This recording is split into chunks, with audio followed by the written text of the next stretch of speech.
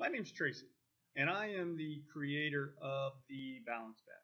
The Balance Bat uh, evolved out of a conversation at summer uh, baseball camps. And the conversation was how do you teach young kids to actually swing uh, a baseball bat so that their hands are inside the, the pitch? And how do you help them overcome the weight of the bat? So the idea came from a counterweight. So after researching a little bit online and trying to look at other devices and bats that are out there, I hadn't really found anything that actually had an extended knob. I found a lot of devices that would attach to the knob, but those uh, actually create a bat that's not a game ready bat. So what I did is I came up with the idea of the balance bat. Now with the balance bat itself, this is a game ready bat. Um, you can go right from batting practice into a game. It's one piece. It meets the dimensions of, of uh, and in this case, with this particular bat, uh, Little League uh, requirements. Now, what I'm working on right now is five different models with the balance bat.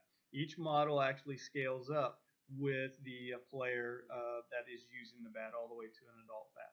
I'm also collecting uh, and working with a physics teacher regarding the science of the bat, like trying to determine how much weight is required on the back end of the bat that actually counters the barrel of the bat. Uh, and it's extremely interesting uh, uh, research that I'm doing right now. The funding for this project, uh, why I need funding, is to help with uh, patent protection. There's a patent pending right now, uh, provisional patent on the on the bat, the concept of the bat, with branding and with production. Um, I'm trying to, to make a, a, price point of the bat so that a six-year-old, a seven-year-old can save their money to actually buy the bat. So with your help, um, I am I am seeking um, uh, funding to actually extend uh, the overall bat concept. I've been trying to identify does it work.